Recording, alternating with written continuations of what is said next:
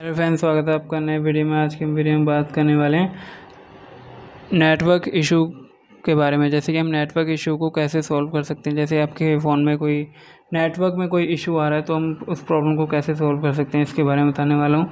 चलिए friends, video को शुरू करते हैं। वीडियो को शुरू करने से पहले अगर आप चैनल पर नए हैं तो चैनल को सब्सक्राइब कर, वीडियो को लाइक कर दीजिए। फ्रेंड जैसे कि आप देख सकते हैं, मेरे पास ये वीवो का फ़ोन है और आपको सबसे पहले क्या करना है, सेटिंग पर क्लिक करना है। तो क्लिक कर लेंगे।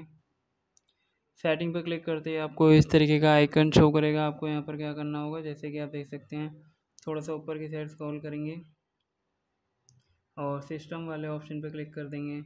क्लिक करने के बाद आपको इस तरीके का आइकन शो करेगा। आपको यहाँ पर क्या करना होगा? जैसे कि आप देख सकते हैं रीस्टार्ट पर क्लिक करेंगे। क्लिक करने के बाद ऊपर वाले ऑप्शन पर क्लिक करेंगे और यहाँ से रीस्टार्ट पर क्लिक करेंगे। क्लिक करते ही जैसे आपका ये रीस्टार्ट हो जाएगा, ऐसा आपको दो से तीन बार करना है।